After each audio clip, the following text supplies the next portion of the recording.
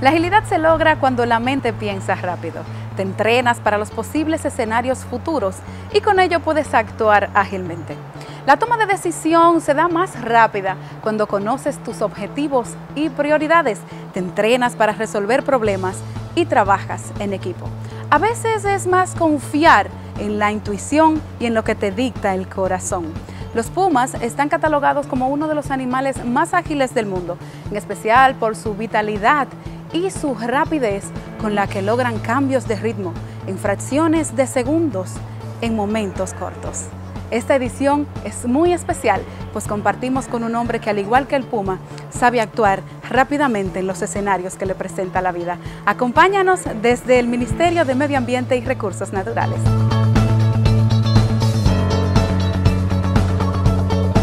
Compartimos una edición muy especial con un hombre muy polifacético escritor, columnista, comunicador, abogado, catedrático y funcionario público. Agradecida de que nos haya abierto las puertas de su despacho, ministro. Muchas gracias por la invitación. Me siento muy complacido de estar en tu programa y de saludar a todos los amigos que nos ven y un saludo a todos. Orlando Jorge Mera en edición especial. De inmediato quisiéramos saber de dónde viene Orlando Jorge Mera. Bueno, yo nací en Santiago de los Caballeros en el año 1966 y me eduqué en la, primaria en Santiago de los Caballeros, en el Colegio de las Américas. Aguilucho, ¿verdad? Aguilucho, claro que sí. Muy feliz ahora con esta Corona 21 eh, de la Serie del Caribe y, muy feliz de, que las Águilas Cibaeñas hayan ganado el campeonato aquí. Y en efecto, sí, soy santiaguero de pura cepa. Qué bueno. Nosotros también somos del Cibao. Exacto. Ministro, ¿y cuándo nace esa pasión por la política? Bueno, tú sabes que eh, mi padre fue político. ¿Nació político? ¿Usted no, no, mi padre no nació político. ¿Usted nació en una cuna ah, política? Yo sí, yo sí. Yo nací en el año 66, como te dije, y mi padre ya para esa época en el 66 ya había transitado por una etapa política muy interesante que fue eh, la revolución de abril del 65, eh, antes eh, el golpe de Estado contra Juan Bosch y más atrás la caída de la dictadura. Entonces, todo eso viví en los primeros años de mi vida, viví los momentos en los que las imágenes que tengo de mi familia eran mi padre defendiendo a presos políticos eh, en esas épocas, en los primeros 12 años del doctor Joaquín Maraguer. Entonces, eh, ya a partir del 78, mi padre intentó en una primera vez ser candidato presidencial del entonces Partido Revolucionario Dominicano en el 77. Eh, ahí perdió ese, esa primera oportunidad, pero Contestando tu pregunta, nací en un hogar de políticos. Mi casa siempre estuvo abierta a, los políticos de la época. Y, por supuesto, esa vena de, esa vena de la política, esa vena de, de tratar de ayudar a los dominicanos, pues vino de ahí. Y cuando incursa directamente en la política, sabemos que su padre eh, jugó un papel muy preponderante. ¿Él le apoyaba? Mira, yo en el año 1993 tomé una decisión crucial y fue que eh, decidí hacer carrera política por mí mismo, independientemente de que, por supuesto, de hijo de Salvador Jorge Blanco, pero no, no decidí hacer mi propia carrera política por mi propio esfuerzo y por mi propia capacidad. Sus propios méritos. Exacto, entonces eh, eh, lo hice de la mejor manera. Me inscribí en el PRD y comencé un trabajo político eh, que me llevó a, para mí, los mejores años en lo que pude tratar al doctor José Francisco Peña Gómez, que fue en el año 1994. El mayor líder de masa de 1994, 1995 y 1996. En esos tres años yo hice vida política con el doctor José Francisco Peña Gómez. Y ahí pude entender y comprender eh, distintas eh, situaciones, eh, pude conocer bien el país, sobre todo el sur de la República Dominicana, porque ahí tuve responsabilidades políticas en aquel momento. Y por lo tanto, esos, esos tres años que estuve del lado de José Francisco Peña Gómez me sirvieron para entender y comprender eh, que la carrera política una carrera política, no todo es luna de miel, sino que hay obstáculos y que hay que prepararse, prepararse académicamente, prepararse intelectualmente y estar en condiciones de poder eh, ayudar en lo que más se pueda eh, a los dominicanos. Luego, luego ya en, cuando murió Peña Gómez, en el PRD eh, vino un momento muy interesante, se llegó al poder en el 2000 con Hipólito Mejía, luego en el 2004 se salió del poder, entonces ahí eh, se abrió una gran oportunidad para mí, que fue la, la primera convención democrática que hubo en el entonces PRD, y yo aspiré a la Secretaría General de ese partido y gané la Secretaría General, electo por el voto soberano de la militancia de ese partido. Y entonces ahí fui secretario general durante un primer periodo de cinco años. Luego en un segundo periodo eh, también me pidieron que volviera a reelegirme.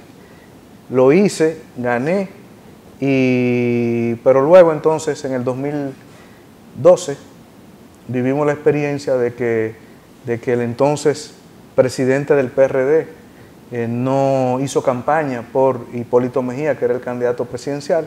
Entonces ahí ya comenzó un proceso de separación hasta que me expulsaron del PRD en el 2013. Y en conjunto con otros líderes. conjuntamente con Hipólito Mejía, con Luis Abinader, Andrés Bautista y Gianila Vázquez. Esos esos dirigentes nos expulsaron con nombre y apellidos.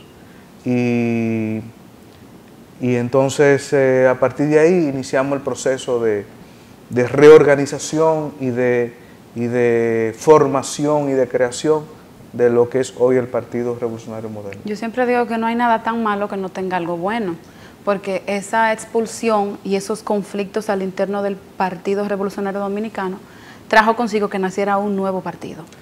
Que es el que actualmente dirige la Nación Dominicana. Correcto. El Partido Revolucionario Moderno, del cual usted es delegado político. Correcto. De la Junta Entonces, no hay nada tan malo que no tenga algo bueno. Sí, pero ha sido el, esfuerzo de mucha gente y de no fue fácil eh, el proceso de formación, de creación de un nuevo partido político. Eh, nosotros vivimos la experiencia del año 2016 eh, que no fue nada fácil, eh, un partido recién creado, eh, tener presencia en todos los colegios electorales y aún así quedar en segundo lugar en medio de situaciones muy difíciles. logramos ser un partido entonces mayoritario y entonces finalmente ahora en el 2020 con el mismo Luis Abinader, quien había sido candidato en el 2016, ahora repitió en el 2020, pues lógicamente hemos alcanzado el poder con eh, grandes retos y grandes desafíos eh, que tenemos en curso. Ministro, usted dijo que dentro de la carrera política hay momentos muy buenos, pero hay otros que no tanto. ¿Ha habido algún momento que lo haya pensado hacer tirar la toalla? No, tirar la toalla no, pero yo he vivido situaciones muy, eh, muy complicadas y complejas. Eh, no es fácil tú ver a tu padre eh, en un tribunal condenado por una justicia política y entonces eh, tener, que, tener que tener la dignidad y la humildad de entender ese proceso y de seguir para adelante. Y seguir hacia adelante. Pues lógicamente alguna gente me, me pregunta, ¿cómo tú has seguido en política? Mira lo que le pasó a tu papá y todo eso. Entonces es parte de, un debate interno que a veces eh, uno ha tenido, pero que sin lugar a dudas, como tú bien has señalado, Eh, la historia dominicana está llena de lecciones y, de momentos muy difíciles, pero yo lo que digo es, he sacado lo mejor de esos momentos, entonces eh, quizá esos momentos me, me, permitió ver la vida política desde otra perspectiva y eso me ha ayudado inclusive para, para entender y comprender que el poder es pasajero y que, y que uno tiene que tratar de mantenerse dentro de, lo, dentro de los cauces normales de, todo ciudadano. ¿Cómo influyó ese, ese lapso en la vida de su padre, en la suya? No, eso tuvo una influencia muy, muy marcada, muy marcada, porque eh, son situaciones muy, muy difíciles de poder entender y comprender, y, de tú ver a tu padre eh, en una cárcel, eh, preso al igual que otras personas que quizás hubiesen cometido algún tipo de delito, eh, maltratado. Con represión política. Maltratado. Eh. pero bueno, esos son momentos que uno tiene guardado y no, ya eso está, eso ha pasado mucho tiempo. Y lo importante es uno tenerlo, tenerlo pendiente, eh, pero por supuesto la República Dominicana ha superado mucho esa situación. En aquel momento el el Poder eh, Ejecutivo controlaba el Poder Judicial, eh, ya hoy día no es así, eh, ya hoy día tenemos un Poder Judicial independiente, un Ministerio Público independiente, y entonces la situación, la República Dominicana, digamos, pasó esa página y está ahora en un proceso de, de institucionalización y que, que esperamos que eso nunca jamás se vuelva a repetir aquí. Vamos a tomar nuestro cafecito y vamos a ir a nuestra primera pausa comercial. ¿Me parece?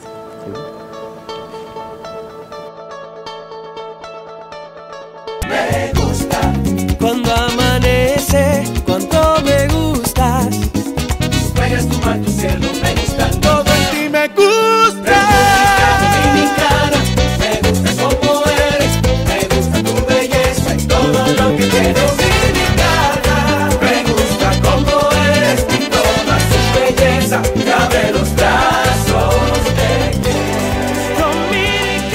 República Dominicana lo tiene todo.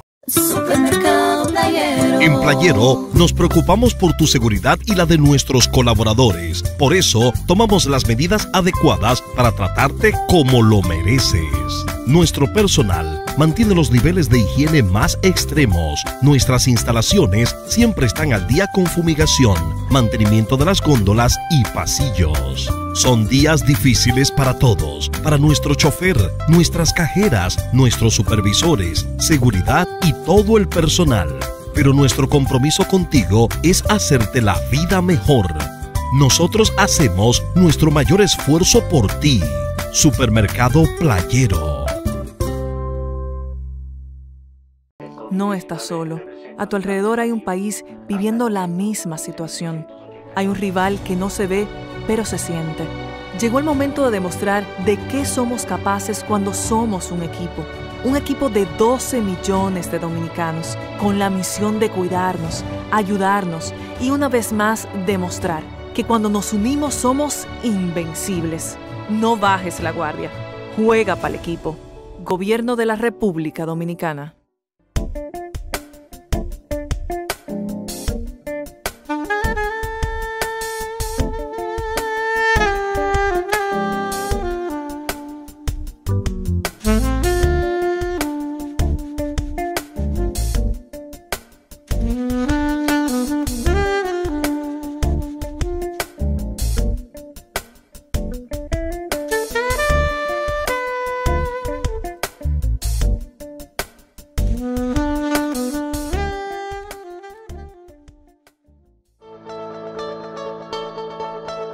Bueno, también hay momentos muy buenos. ¿Hay alguno que usted recuerde y le traiga una sonrisa? Claro, por supuesto que sí.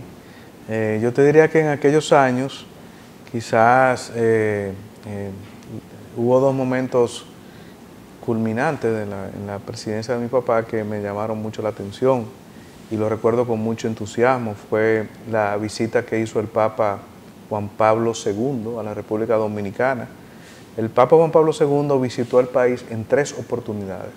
Una cuando don Antonio Guzmán, otra en el momento en que mi papá estuvo, en la presidencia y luego en el mandato del doctor Joaquín Balaguer. En el caso particular de la visita a mi papá, se conmemoraba eh, los 500 años de, descubrimiento de América. Entonces fue un momento muy importante, muy interesante y, y por supuesto, eh, compartir y saludar al, a su santidad fue algo para mí muy... ¿Tiene su foto con el Papa? Sí, tengo mi foto con ese Papa en particular. Con ese Papa en particular. Y por supuesto, yo diría que como dominicano también me sentí muy, muy contento y feliz de ver la visita de Estado que hizo mi padre a la Casa Blanca eh, en el año 1984. Ha sido de todos los presidentes dominicanos la única visita de Estado. Y te hago la aclaración porque después tú te encuentras fotos de otros presidentes dominicanos con presidentes norteamericanos, pero ninguna ha sido una visita de Estado. Es decir, eh, la visita de Estado en la Casa Blanca, eh, de protocolo es muy, muy estricto. Em, tú tienes que la llegada del, presidente visitante es con una parada militar en, el, jardín de la Casa Blanca, luego reuniones. Con ciertos honores. exactamente, y, después hay una, una cena de Estado eh, en, la, en la Casa Blanca.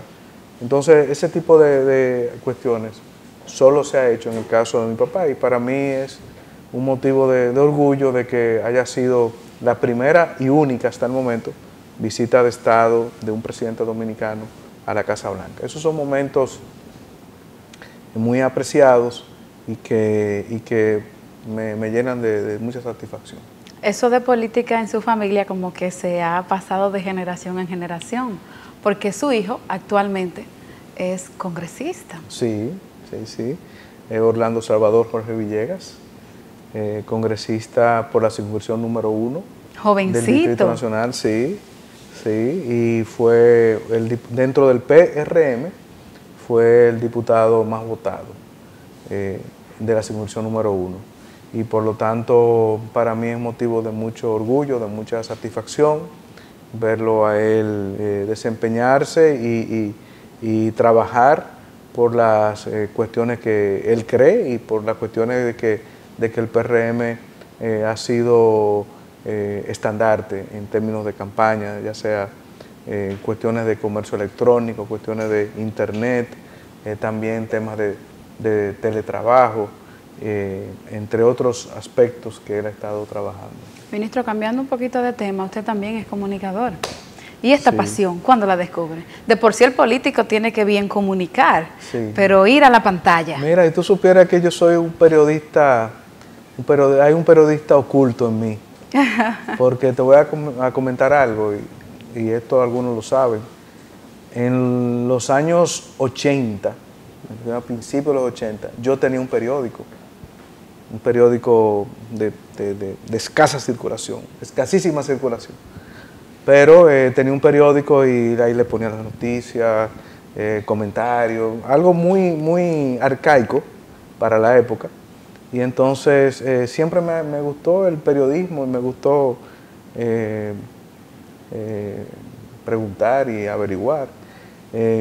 Estar al tanto ahí. Sí, sí. Entonces eh, luego en el 2004, cuando salimos del, gobierno, justo antes de salir del gobierno, tuve una, oportunidad y le agradezco, no sé si lo puedo mencionar aquí, pero, le agradezco a Color Visión que me permitiese eh, desarrollar ese proyecto. Y entonces, eh, desde el 2004 hasta, la fecha, hasta hoy, 2021, febrero de 2021, todos los domingos tengo un programa de televisión a las 9 de la mañana. Y sigue ahí, a pesar sigo ahí porque, de que tiene muchísimas ocupaciones ahora. Sí, ahora he tenido que variar un poco, o sea, en el sentido de que ahora las grabaciones tengo que hacer más temprano, eh, pero es una ventana que, que, yo respeto, que aprecio Eh, y entiendo que, que tengo que mantener porque... Sí. 16 años ya. 16 Ininterrumpidos. Años, ininterrumpidos, sí.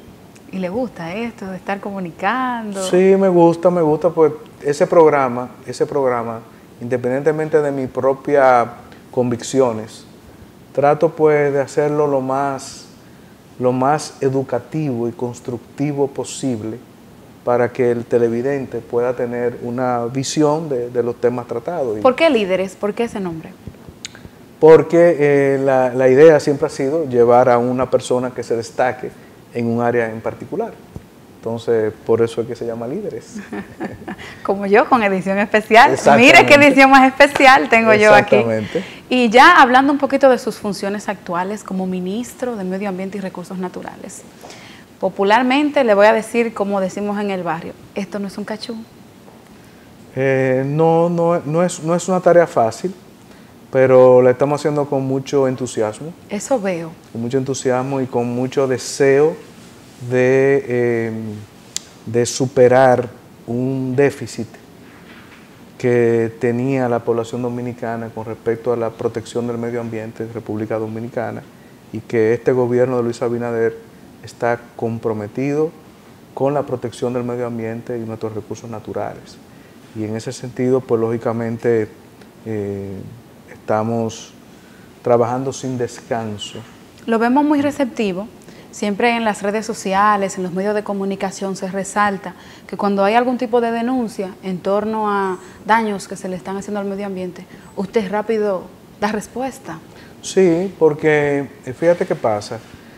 o sea, no está este aislado de la sociedad ni, de, ni de la realidad. No, no, no. Es que yo soy un servidor público y el servidor público está para servir a la gente.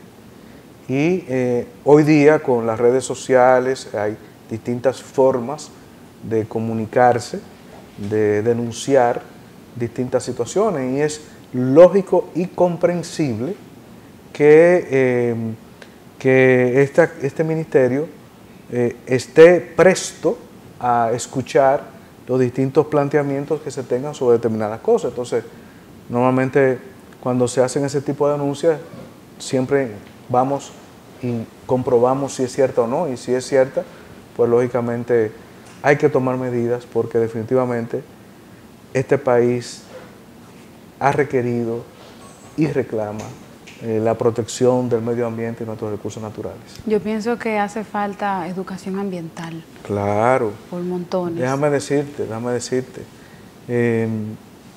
la Dirección de Educación Ambiental en este ministerio ha sido clave y determinante. desde agosto eh, hemos eh, realizado una serie de actividades relacionadas con eh, jóvenes y con maestros que puedan a su vez ser agentes multiplicadores de la educación medioambiental. Y hemos estado trabajando en eso y no descansamos. Y sobre todo, que hay dos temas. Uno, la educación formal, que son los que, los que van a clases, los, maestros, los estudiantes. A tomar español, matemáticas, La ley nos obliga a la educación informal, es decir, al ciudadano que está en la calle. Tenemos que orientarlo y darle la debida educación y orientación sobre cómo hacer determinadas situaciones. Entonces, ese es un reto, un desafío que lo hemos venido cumpliendo y lo vamos a cumplir más. Yo pienso que dentro de esas materias que se imparten en la escuela, la educación ambiental debería ser como la matemática y la lengua española. Al final esta es nuestra casa grande. Así es. Eh, de hecho, eh, ahora mismo que estamos en el mundo virtual en materia de educación, se le suplieron al Ministerio de Educación una serie de cápsulas educativas que se pasan eh, diariamente sobre estos temas. Yo pienso que el país tiene dos temas que son cruciales y que pueden ser eh, objeto de, clases en materia de educación. Uno es la educación cívica y otro es la educación medioambiental, que como, Sin tú, dudas. como tú bien señalas, eh, y el Papa Benedicto, el Papa Francisco así lo ha dicho, eh, de que esta es la casa común de todos. Claro. Y tenemos que protegerla. Y la estamos destruyendo, lamentablemente. No, no, no así tan categóricamente, pero definitivamente eh, ha habido mucha dejadez, ha habido eh, negligencias de comportamientos y actitudes del pasado, en el que no ha habido el debido equilibrio entre, por un lado, el deseo que tiene el hombre de, desarrollar y, por otro lado, la necesidad que tenemos que ese desarrollo sea sostenible y sea eh, adaptado a lo que es el medio ambiente. Sí, pero también hay otros factores que particularmente yo pienso que influyen. Y hay una clase del dominicano que a veces como que no entiende que tiene que respetar ciertas cosas como no tirar la basura por el cristal del carro. Entonces allí es donde digo que a lo mejor si existiera un régimen de consecuencia más fuerte. Claro, lo que pasa es eh, lo siguiente, es eh, que nos hace falta eh, educación y por otro lado, en términos de, de algunas leyes que necesitamos, como la ley de residuos sólidos, para ponerte un ejemplo, que es de, noviembre de este año, necesitamos eh, colocarla en, situación de que todos entendamos cuáles son nuestros derechos y nuestras obligaciones. Esa es parte de nuestro reto. Y ahí entonces entra la cívica. Vamos a ir a una siguiente pausa comercial y al regreso, pues más de esta edición especial.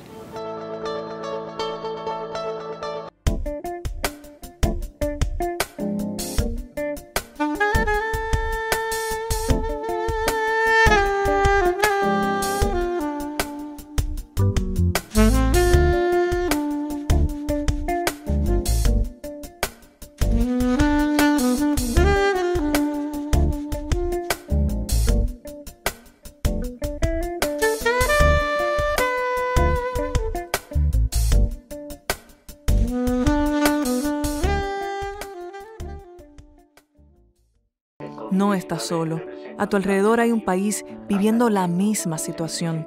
Hay un rival que no se ve, pero se siente. Llegó el momento de demostrar de qué somos capaces cuando somos un equipo. Un equipo de 12 millones de dominicanos con la misión de cuidarnos, ayudarnos y una vez más demostrar que cuando nos unimos somos invencibles. No bajes la guardia. Juega para el equipo. Gobierno de la República Dominicana. En Playero nos preocupamos por tu seguridad y la de nuestros colaboradores. Por eso tomamos las medidas adecuadas para tratarte como lo mereces. Nuestro personal mantiene los niveles de higiene más extremos. Nuestras instalaciones siempre están al día con fumigación, mantenimiento de las góndolas y pasillos. Son días difíciles para todos, para nuestro chofer, nuestras cajeras, nuestros supervisores, seguridad y todo el personal. Pero nuestro compromiso contigo es hacerte la vida mejor. Nosotros hacemos nuestro mayor esfuerzo por ti. Supermercado Playero.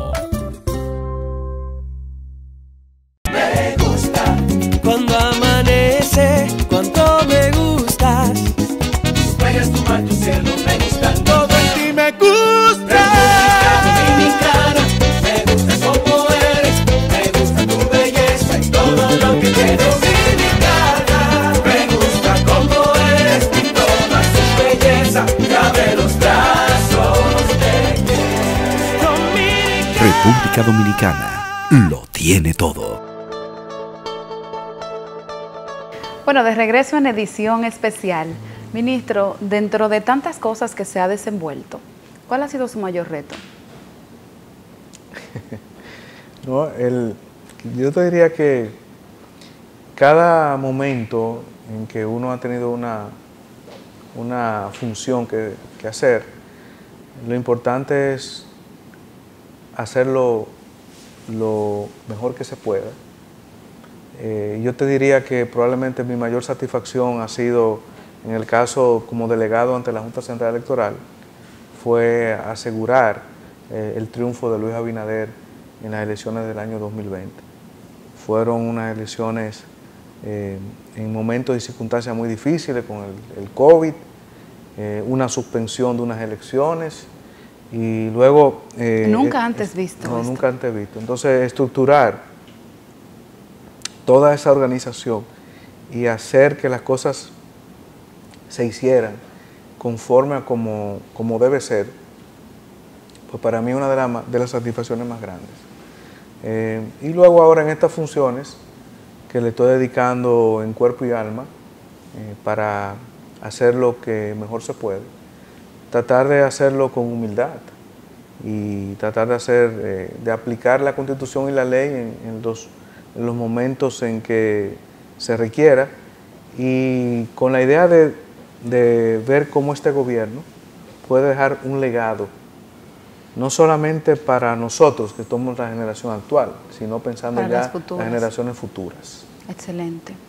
Y dentro de todo esto, su carrera política, su carrera profesional, ¿usted se siente realizado ya? No, por supuesto que no.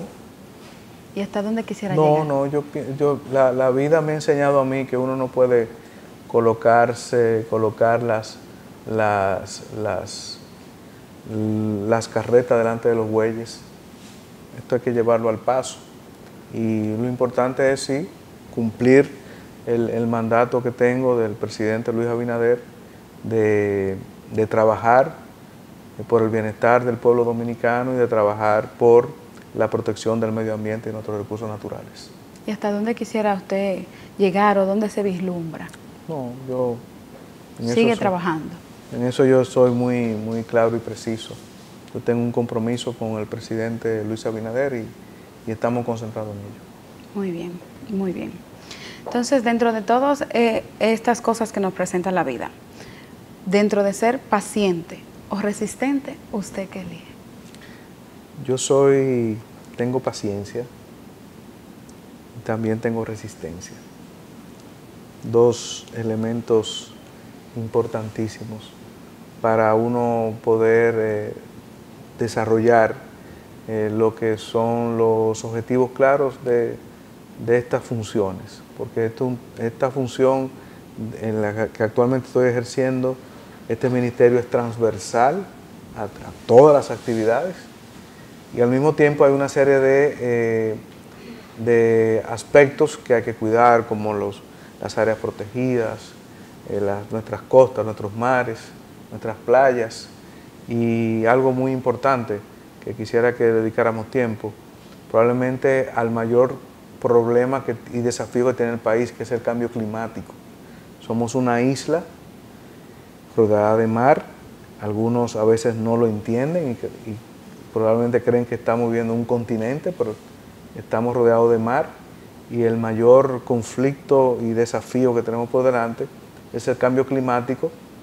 Por ejemplo, eh, este programa se ve en Sosúa y, tú sabes que en Sosúa hay, ahí te voy a poner un ejemplo muy claro.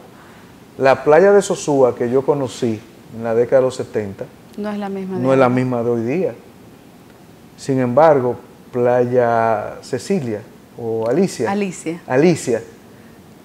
Eso cuando yo iba a Sosúa antes no existía. No existía sin embargo ahora existe y es muy hermosa. Sí. Y eso fue, y fue, creado por el hombre, o sea, fue creado por la naturaleza. Sí. Entonces ahí tú tienes dos, ejemplos de cómo el cambio climático eh, influye e impacta en una ciudad. Definitivamente. Y cómo va cambiando incluso nuestro, nuestro medio ambiente donde nos desenvolvemos. ¿Hay alguien a quien usted admira? Bueno, sí, claro. Claro que sí. ¿Y puede decir quién es? ¿Y por qué? No, no, yo, yo a la persona que he admirado se llama José Francisco Peña Gómez, que me demostró a mí que no necesitó llegar a ser presidente, sin embargo dejó una impronta en la República Dominicana. Sin duda. Entonces, eh, y su, su rol en la sociedad, su, eh, hay bueno señalarlo, Peña Gómez venía de una familia muy pobre y sin embargo eh, llegó a ostentar eh, títulos universitarios, fue profesor y por lo tanto demostró que lo importante en la vida es prepararse. Y ese ejemplo es para mí fundamental. y hasta la fecha es considerado como el más grande líder de masa de la República Dominicana. Así es. Hasta la fecha, aún con todos los impedimentos, aún con todas las zancadillas. Así es, así es. O sea que sí es un digno ejemplo, no solo para usted, sino para todos los dominicanos. Así es. De cualquier partido que pertenezca. Así mismo es. Así es. Así que yo corroboro con usted. ¿Qué significa la familia para usted? Bueno, la familia es todo. Eh, hoy día eh, ante, ante, en la sociedad contemporánea que ha cambiado algunos paradigmas, eh, desde mi punto de vista la familia eh, sigue siendo el principal, el, principal grupo que un grupo social que del cual se desprenden aspectos fundamentales, por ejemplo, la educación, la, eh, la, vocación por el trabajo.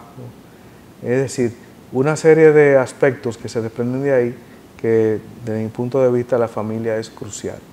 Eh, está muy, hoy día está muy abatida por distintas situaciones, pero entiendo que eh, la familia es fundamental para nuestra sociedad.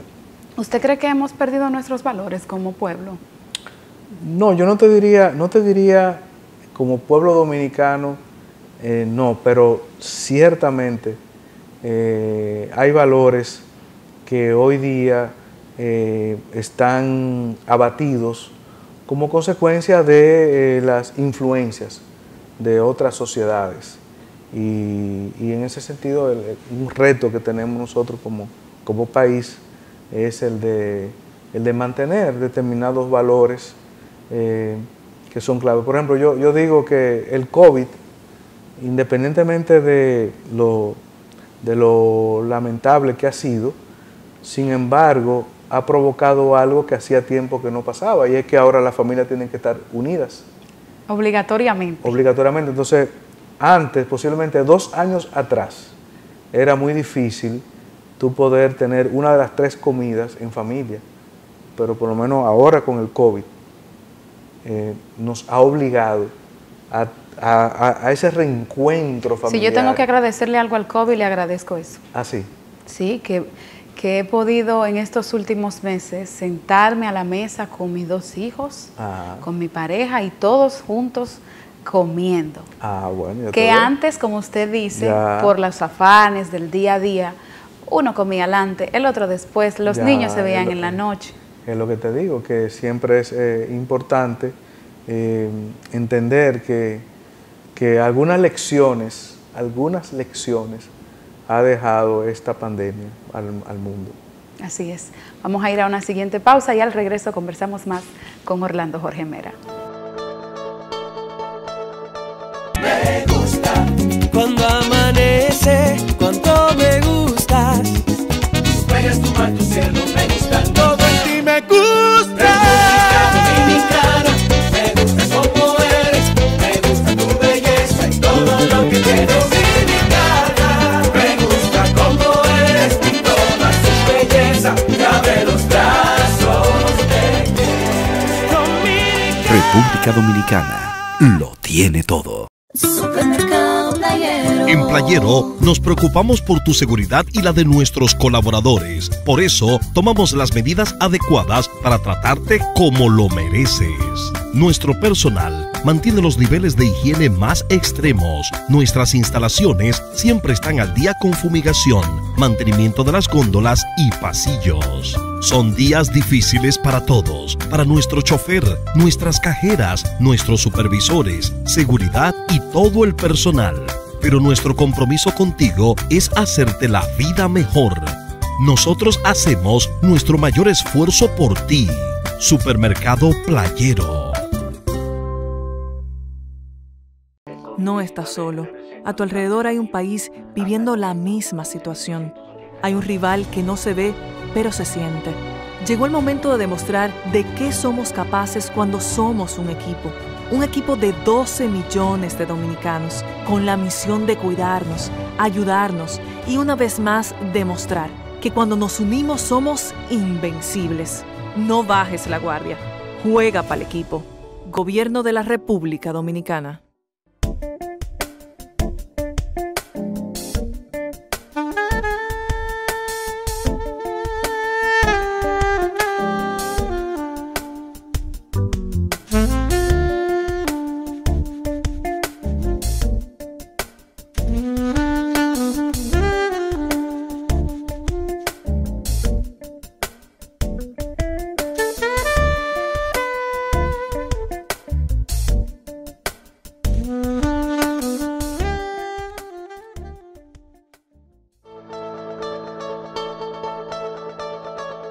Dios le diera la oportunidad de regresar el tiempo atrás y hacer cualquier cosa, ¿qué usted haría? No, yo sería el- el- la misma persona que soy. Y dejaría todo igual. No tengo, no tengo quejas de lo que he sido y de lo que he pasado y de lo que he sufrido y de lo que he gozado. Muy bien. Todo pasa por alguna razón. Claro que sí, ¿Y usted cree en Dios? claro que sí. Soy católico. Claro que sí. ¿Y cree en algo más allá de la muerte? No, yo, yo en ese sentido suscribo la, la, la, la religión católica, lo que, lo que establece la religión católica. Muy bien. ¿Algún mensaje que quiera externarle al pueblo dominicano que tiene puestas las esperanzas en este nuevo gobierno para ver, lograr algunos cambios? Que han Sí, sido yo pienso que sí, que te agradezco muchísimo esta oportunidad. Yo Eh, a usted. reiterarte, reiterarte que estamos a la orden y al, al pueblo dominicano lo que les digo es lo siguiente, estamos viviendo una etapa de una pandemia que nadie la estaba buscando eh, y que sin embargo ha probado nuestra capacidad y nuestra, nuestra resiliencia. Y en ese sentido eh, estamos ya en esta etapa final que Dios mediante cuando lleguen las vacunas se iniciará un proceso de vacunación general que nos irá permitiendo ir reincorporándonos otra vez a nuestra vida normal. Por supuesto, este proceso va a tomar un tiempo y ahí es importante seguir siempre con las normas de distanciamiento social necesarias y estoy seguro y convencido de que después de esta, de esta pandemia, la era post-COVID, va a ser una era que va a favorecer la protección de la- los, los- el medio ambiente y va a favorecer eh, la- la- el turismo ecológico.